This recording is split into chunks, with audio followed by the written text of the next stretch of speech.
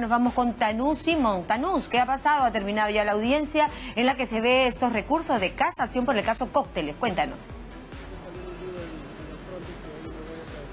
Así es, la sala penal permanente ya culminó la audiencia hace, hace unos minutos y eh, finalmente eh, han decidido que el 11 de octubre se va a decidir, se va a emitir ya eh, la decisión de la sala penal permanente respecto a eh, las casaciones presentadas por Fuerza Popular y también por Keiko Fujimori y Mark Vito. Justamente pudimos conversar con la abogada de Keiko Fujimori, Juliana Loza, quien nos dio las siguientes declaraciones. Escuchemos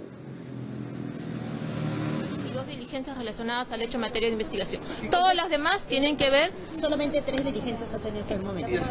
En efecto, pero si solamente la han llamado una vez a declarar, en junio del año 2016, no hay absolutamente nada, llevamos 30 meses investigados. ¿A qué motivo se obedecería tanto tiempo? ¿A usted presume por qué se tomaría tanto tiempo? Bueno, la inactividad de parte del Ministerio Público no depende de nosotros.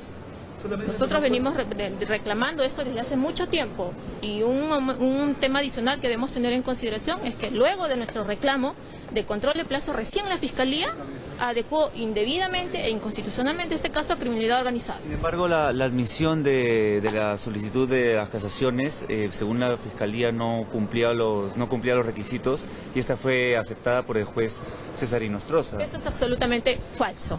Falso. Por el contrario, la sala del, del magistrado Inostroza, de la ex segunda sala penal transitoria, fue totalmente perjudicial para nosotros, porque nosotros postulamos tres motivos casacionales en este caso y solamente nos aceptaron uno.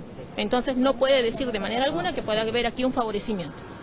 Por el contrario, nos perjudicó. ¿Habría motivación quizás esta, la conducción de esta audiencia de este tipo de diligencias fiscales? Ustedes han estado presentes en esta audiencia. ¿Han escuchado acaso algún argumento de parte del Ministerio Público en su máxima instancia, que es la Fiscalía Suprema, algún argumento sólido que indique que acá hay un caso de criminalidad organizada? En absoluto. No lo he mencionado. Además, ni siquiera ha podido sustentar que aquí debiera detenerse 36 meses. Entonces seguimos nosotros aquí peleando esto. Llevamos 30 meses investigados y hasta el día de hoy la Fiscalía no establece por qué nosotros debemos estar siendo, eh, digamos, siendo investigados. Lo que pedimos es que se concluya el plazo de las diligencias preliminares y el fiscal será quien tome la decisión correspondiente. Claro, la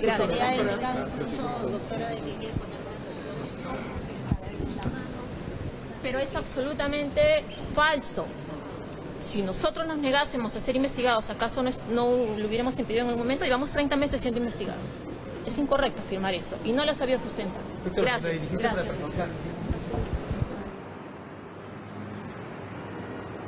Escuchamos las declaraciones de la abogada de Keiko Fujimori Mar Vito, quien eh, sostiene que los 36 meses de investigación preventiva eh, son demasiados amplios y además eh, sostiene que la Fiscalía no ha realizado las diligencias correspondientes. recordemos que, que, estas casaciones lo que buscan es impedir que ellos continúen siendo investigados en el marco de la ley de crimen organizado, de crimen organizado por la Fiscalía. Por su parte, el Ministerio Público, eh, durante la audiencia, sostuvo que eh, la admisión de estas casaciones no se dieron de manera correcta. Recordemos que la admisión de las casaciones presentadas por Fuerza Popular, Keiko Fujimori y Mar Vito, eh, se dieron en la sala presidida por el suspendido juez César Inostroza.